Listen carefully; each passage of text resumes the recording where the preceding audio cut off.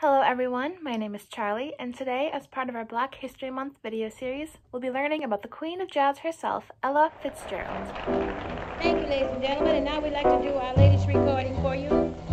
One we hope you like. In case you should like it, it's available. Oh, the shark has pearly teeth,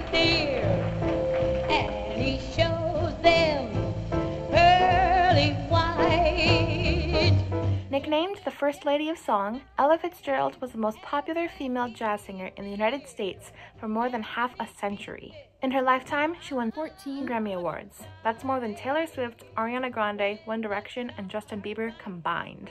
Her singing career began in 1934 at the age of 17 when she competed in Amateur Night at Harlem's Apollo Theater.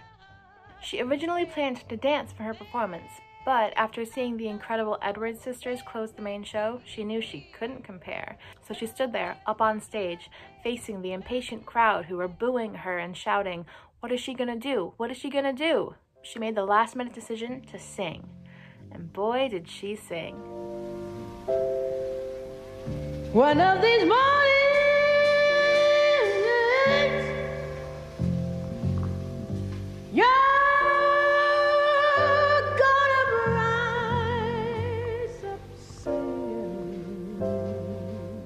Usually very shy and self conscious, Fitzgerald said she felt at home in the spotlight. Once up there, I felt the acceptance and love from my audience.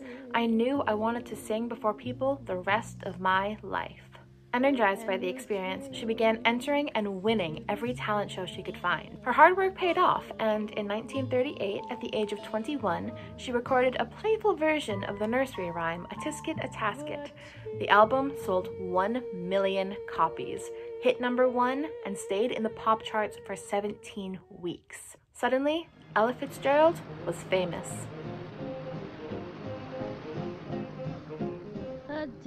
Tisket, a tasket, a brown and yellow basket. I send a letter to my mummy. On the way I dropped it, I dropped it, I dropped it.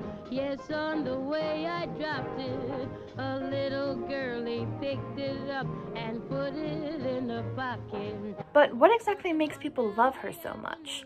Frankly, it's because there's no one else like her in music. She started off as a swing singer and then moved to bebop, then she sang jazz, then the blues. Not only that, but she's considered one of the best scat singers in music history. I mean, just listen to her.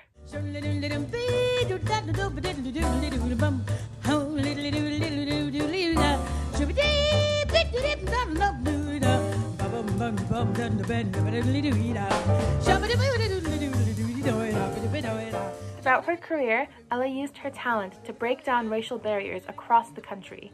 When she sang on the Jazz at Philharmonic tour in 1949, she refused to perform if the venues were segregated or if she was paid less or treated poorly because of the color of her skin. You were involved in a lawsuit and sued an airline company for racial discrimination. Whatever happened to that? What was the outcome? We won. Would you do that kind of thing again? What do you mean, sue? Yes. Yes. Yes, if I think a person's wrong, if we think think somebody's wrong, and, and uh, actually we, our tickets had said all the way to Australia. And uh, it just knocked us off. And it was only the three of us that they knocked off. She's considered a civil rights crusader and was awarded the Lifetime Achievement Award from the NAACP in 1988, as well as the Presidential Medal of Freedom in 1992. To this day, she's known as one of the most influential musicians of the 20th century. Now it's your turn. Go on YouTube or Spotify and look up Ella Fitzgerald. Close your eyes and listen to her sing.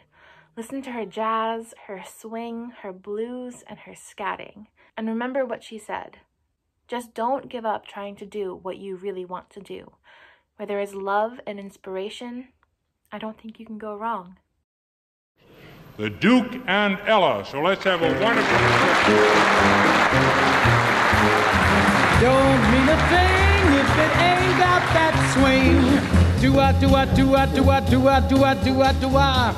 It don't mean a thing. All you gotta do is sing. Do I, do I, do I, do I, do I, do I, do I, do I. Makes no difference if it's sweet or hot. Give that rhythm everything you've got. Oh, nothing if you ain't got that swing. Do I, do I, do I, do I, do I, do I, do I, do I.